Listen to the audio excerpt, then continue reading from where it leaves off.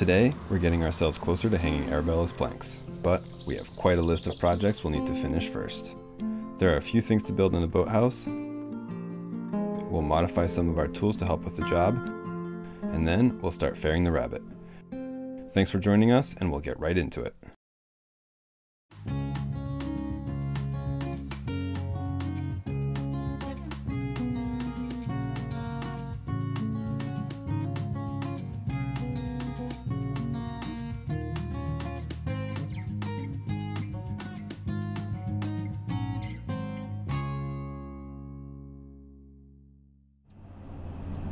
Get ready for planking, we need to build some planking benches because um, we're going to scarf the planks together, and that means that we need to do upwards of 40 foot planks. Um, so to handle those, to do the scarfs on those, we want to build some planking benches.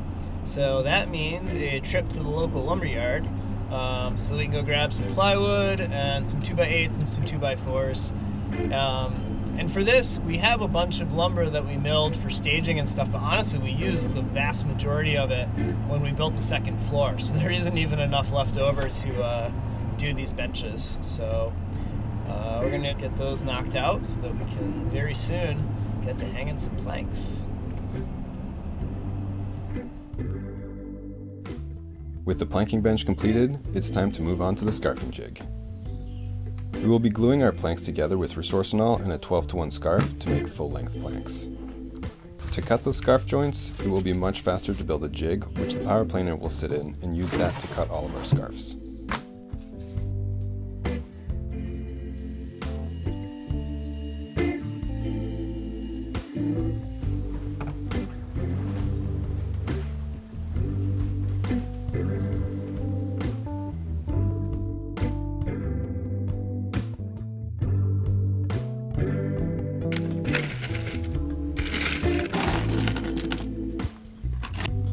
Basically, the planer will sit on a jig with two sloped sides which it will ride on, and will guide the planer to cut the same shape each time, a perfect 12 to 1 slope on each end of the boards.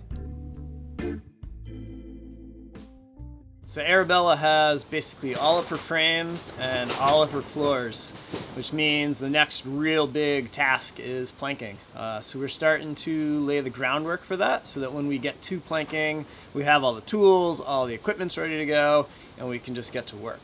Uh, so one of the things that we need to do is get ready to back out and scrub the planks as we put them on. And what that means is we have a frame here that was one of our culls, and we have a board that basically is around the same width as our planking. So our planking will be four to six inches, this board is five inches. And what happens is the plank goes onto the frame, and if you see here on an outside corner, the plank doesn't sit flat. It wants to rock, and there's a little bit of room on either end. So what we need to do on this plank is we need to back it out. So we need to take a little bit of material out of the entire middle of the plank so that when it goes onto the curve, it sits flat. And depending on where it is into the boat, we might need to take that out of the middle, or we might need to take it out of the outside edges. So if this were the other way, say it were the turn of the bilge, the plank would go on like this, and we have a gap in the middle. So what we need to do is scrub off the outside edges of the plank a little bit so it sits flat. Now, if we need to scrub off the outside edges of the plank, we can do that with a normal plane or a normal hand plane just by holding it a little bit of an angle and smoothing it off taking the material out of the middle, which they call backing out, is a different story. Uh, so traditionally you would use a wooden plane with kind of a rounded sole on the bottom, or you can take a modern power plane and modify it, and that is what we're going to do. If you've been following us for a little while, and I hope you have, uh, you've seen this bad boy in action a bunch, and this is our Bosch planer we had a Makita one when we started and it was an older version and it just kept throwing the blades on us. So we went and bought this one. And one of the cool things about this Bosch and a bunch of other manufacturers, it's not just Bosch, is they have a tiny little razor blade for a blade. So when you switch out the blades, there's no tuning, there's no sharpening. These are pretty cheap and they're double-sided and the planer only has one of them. So you just undo a couple set screws, slide the old one out, slide the new one in, tighten it down, and you're back in business, which for us has been fantastic. Um, the only real issue with it is that you are limited to a straight razor blade. This is not a good plane to modify because as you can see, you really don't have much to work with. So we went and picked up a newer DeWalt and it has the same style blades that the Makita had. So it has these big chunky blades. Um, you can resharpen them, which is really nice. But when you put them in, you've got to adjust them and get them to the right height, and it's not nearly as quick and smooth a changeover as the Bosch. But the pro of this style blade is that for us, we can modify it. Um, so that's what we're going to do. We're going to take these blades out and we're going to put a bit of an arc in them, and then we can use them very well for backing out. So I'm going to start with just wiping the back of these off with some acetone. And the reason for that is they come with an oil on them, uh, which is great, but it's just going to make marking and working on them a little more challenging. Um, so we'll just wipe the oil off. Now, it's absolutely imperative that whatever we do to one blade, we do the same exact thing to the other. Because uh, if the curves are a little bit off, one blade's going to end up doing uh, all of, if not most of the work. So what we're to do is we're to mark one of these first, get it ground, get it cleaned up, and then we'll use that as a template for the other and make sure that we match it absolutely perfectly. Um, so whatever arc we do on the first one is not super crazy critical, uh, but we just need to make sure that we match the second one to it really, really well. Uh, we also need to make sure that we don't put too much of an arc in them because there is clearance on the machine. And if we bring them too close, uh, the blades are going to start to hit. So we're going to do about an eighth of an inch on these. So I'm to start, I'm to find the center and then measure down an eighth of an inch on either side. And then we'll use this bit of bandsaw blade and just spring the curve, mark it, and we'll take it over to the grinder and grind it. So now that we've marked our arc on one of them, we can take it over to the stationary sander and we'll put it on there 90 degrees and just take off the corners just about down to that line into a nice smooth arc. And then we can use that one to mark its compadre. And then once that one's ground, we can very, very carefully sharpen them, uh, doing our best to make sure that we keep that, that nice smooth arc that we put on them.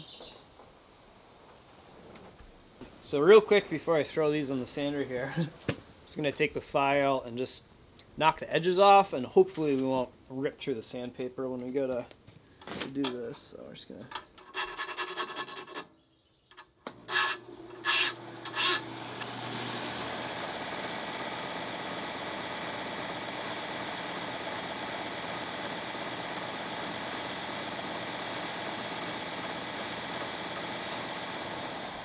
So that's all we're really looking to do.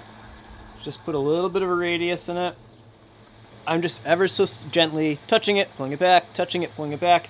And this never, I mean, it barely got warm. And that's exactly what you want. Um, you be really careful with these machines. They take off so much material so quickly, um, which one is an issue, but two, they can make this really hot and they can ruin the temper in a split second. Um, so you shouldn't see any color change. It should never really get hot to the touch. Uh, it's just really, really light, gentle touches.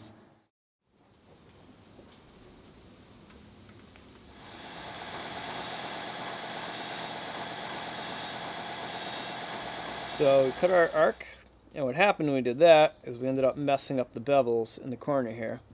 And if you see on the face, there's the main bevel, and then on the very edge is this really shiny secondary bevel, and that's the part that we really care about for cutting.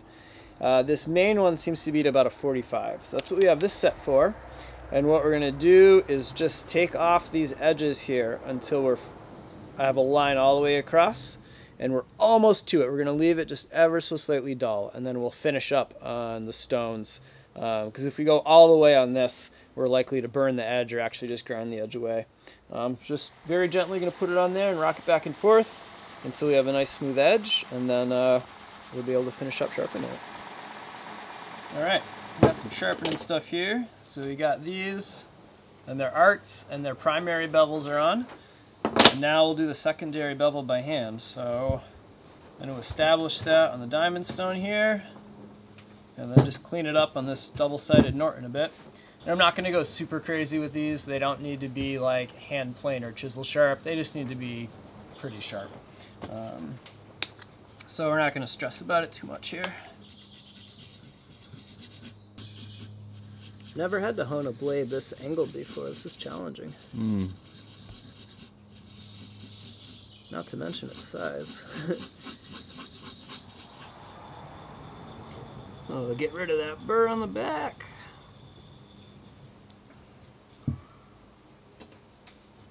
On it. Uh, I think it'll be fine. I think I'm honestly, I'm gonna, I think doing this by hand with the level of skill I have for hand sharpening tiny curved blades, which, you know, first time I've done it, so it's not exactly high. Um, yeah, I think trying to put the secondary on it, I just have more of a chance of effing it up. And I think with the 220 on the grinder there, I mean, that's a really crisp edge, lap the back. I think that'll be fine. And with how easy it is to touch it up on that, I think we can just stick with the, the primary. Sounds good. The secondary really it just helps the edge be a little bit stronger and makes it faster to sharpen. But doing it on the stationary sander, I'm not really worried about faster sharpening. And with how light of cut and what we're actually doing with these, I don't think the extra little bit of strength that it's going to gain is, really is going to be a big difference. So Cool. I think we'll just leave these as that. That'll do. That'll do.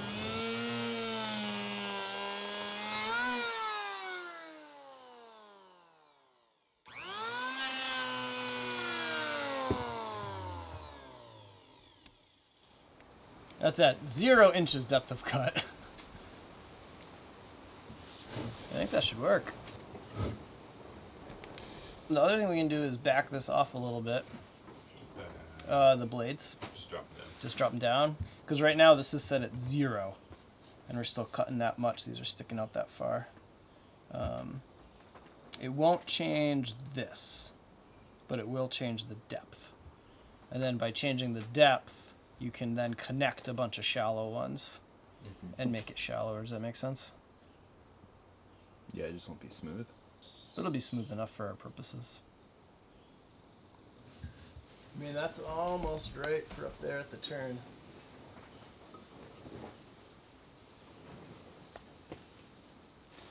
Cool. I think that'll work. And if we don't like it and we find it's too aggressive, it's really not going to be too hard to pop them out and just reduce the arc a little bit.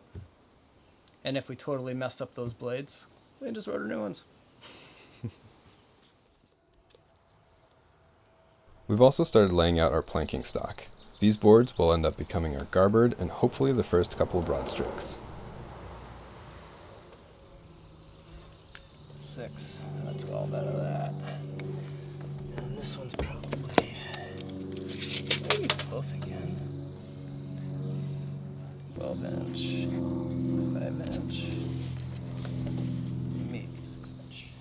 Okay, 6 inches. Okie dokie. Uh, we can probably fold that green tarp in like half and throw it over these. I just want to keep the sun off them as much as we can so they don't go all cattywampus on us. The next step for us for being able to put the planks on Arabella is to do the final fairing on the back rabbet here and the base of the rabbet. And the rabbet is the groove that the planking is going to nestle down into. So we need to make sure that this is all really nice, smooth, and fair. And we've got a little bit of work to do there. Um, so we'll start with the adze and the power planer on the back rabbet here, and we'll use some battens and get that smooth and faired out. Once you're happy with that, we can drop down here with the rabbet planes. We can register against them against the back rabbet, and then just bring down the bottom edge of the rabbet here so that it's 90 degrees to the back rabbet. Once that's all smooth and faired out like that on both sides of the boat, we'll be able to put in the bronze hull strapping, which we'll get to later. Uh, and then once the bronze hull strapping is in, we can start hanging planks. Um, so today is just going to be a, a bunch of checking things with the battens and trying to get everything nice and smooth and fair. So let's grab some battens and the adze and get to work.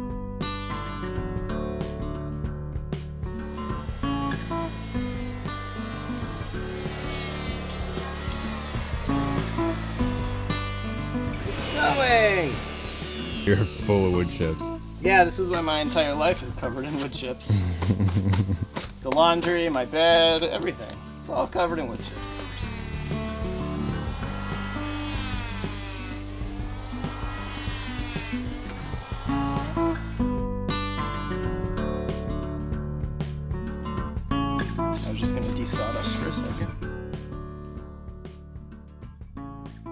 Working on fairing out the uh, back rabbet here in the stern.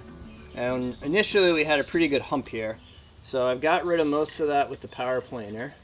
And as you can see, that fid's starting to fit pretty well on there. Um, we're still a little proud here. And the other thing is the rabbet is not quite deep enough as it is. So we need to bring the rabbet in just a little bit and then we can shape this all back just a little bit more. But we're getting pretty close. Unfortunately, with the power plane, I can't get down here all the way. So I'm gonna have to switch over to the adze and work that a little bit until about the point where the fid fits in there at the correct depth. And then I can switch back to the power plane and kind of clean out and get that smoothed out. And we're just trying to go about the height of this fid. And that'll be high enough that we can get that first plank in there with, without any fuss.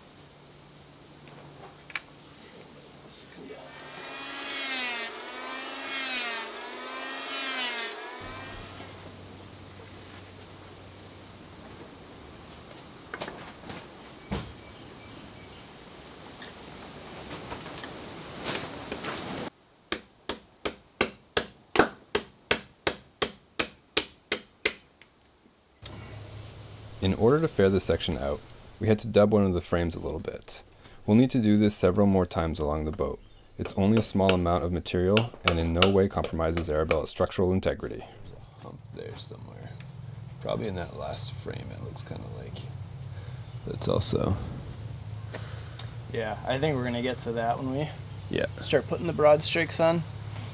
And if we need to just shave down a little bit to get it fair, Mm-hmm. I'm cool with that. I just want to get the real, real rough work done. Mm-hmm. Get it down to where we go to put the plank on, and it's like, oh, 16th here, 30 seconds there, Yeah, eighth of an inch here. Because we can dub as we go too, and it'll be much easier to see how the plank wants to fit on there too. And And Where exactly the high spots are. Yep. Yeah. This, like, I don't know, initially consider that like getting those within spitting distance. mm-hmm. And this one's closing that up a bit. Cool. All right. We'll keep working forward.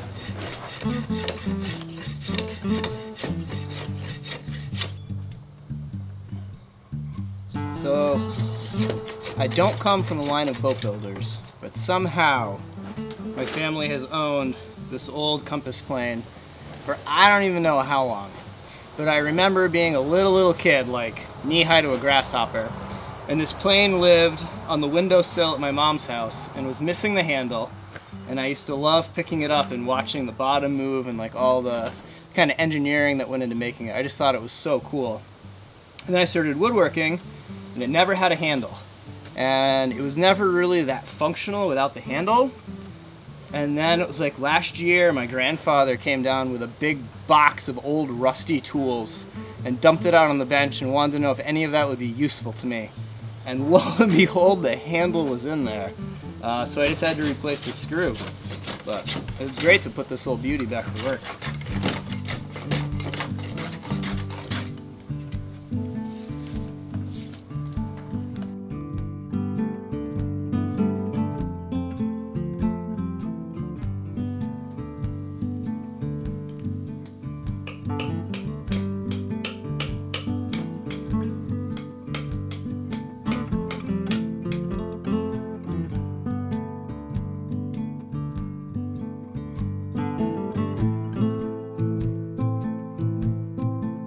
Trying to bring everything down so that we don't have any bigger than like maybe an eighth of an inch discrepancy. And then we'll clean all of that up with the hand tools and do a little more, I'm sure, final tuning as we hang the garboard.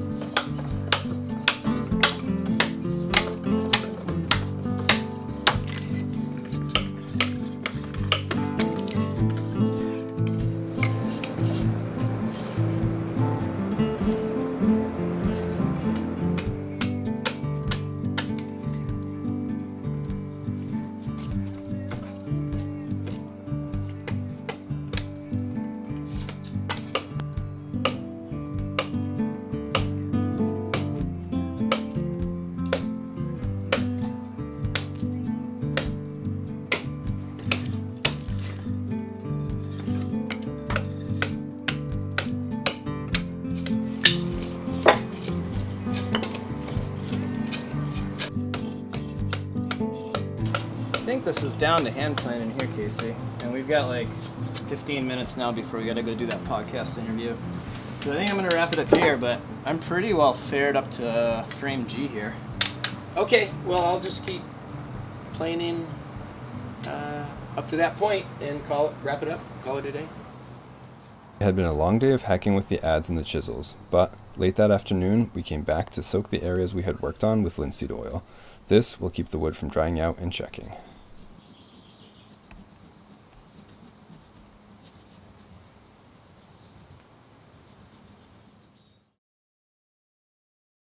Well, uh, the other day, actually, what day is it? I think it's Saturday? Saturday, right? Today? Yeah. Yeah, the video went out yesterday, so it must be Saturday. We kind of lose track these days, which is kind of nice. Um, so that would be Thursday then. We did the back rabbet on the starboard side, and that was seven hours of ticking away with the adze and cleaning all that up. Uh, and my elbows were a little sore at the end of that. So yesterday we did a bunch of filming and some house cleaning stuff and gave the old elbows a break, and uh, today we're back at it. And the first thing we need to do before we can clean up this back rabbet here is get rid of this offending screw. So when we put the ribbons on, we had to tack them into the back rabbet, Um, and a couple of those screws, when we went to take them out in that hard oak, they broke off. Now I've had this issue before, um, not so much on the boat, but just other times woodworking where screws have snapped off like this. And one trick that I found that I really like uh, is to use a really just cheap um, plug cutter and get them at the local hardware store. And I find the U shape with the simple cutting edge to be the most durable for this. And I just slowly start it around the screw. The starting is the hardest part, and then I just chase the screw back. And if the screw is short, it'll actually come out right in the plug. And if not, I'll drill down to the depth of this. And then usually I can get some pliers or vice grips on it and finish twisting it out. And then you just take a drill bit, ream it out a little bit to clean it up, put a wood plug in it, and you're good to go. Uh, so let's see if we can get this puppy to come out. So I find getting it started is the, the trickiest part, but once it's going, it's pretty easy.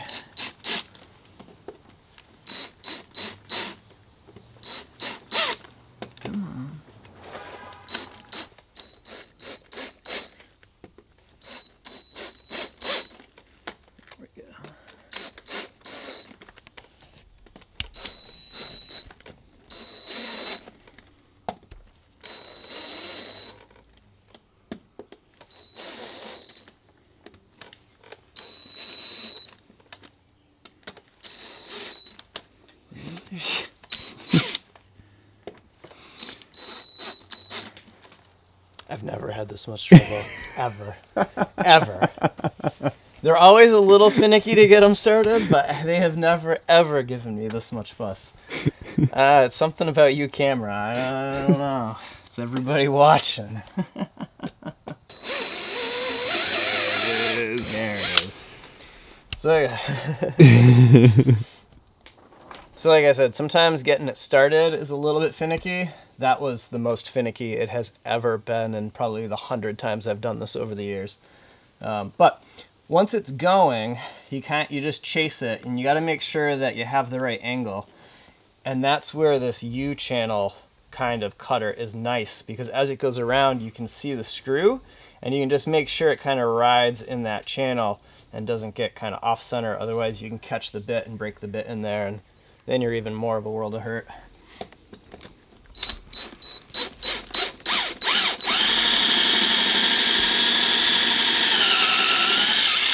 And it eats up these bits, so this one's getting kind of dull. This has already done this a few times, but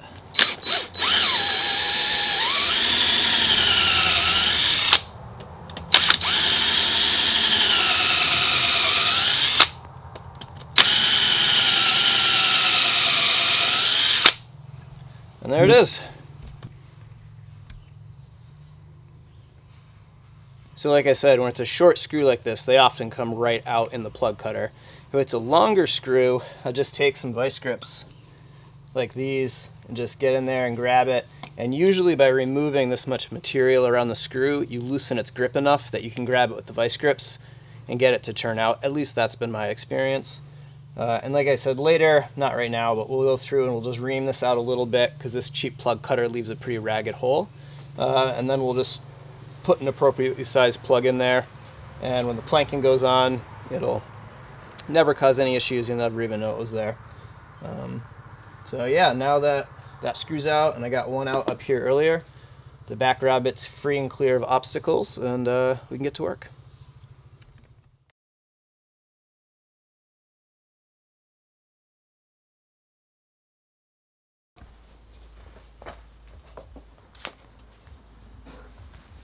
We, uh, can we get out here? No? You have the entire boathouse to lay in, and this is the spot that you choose. Not ideal, Doug. oh, really? Just like, uh huh, not listening. Alright. Thanks, bud.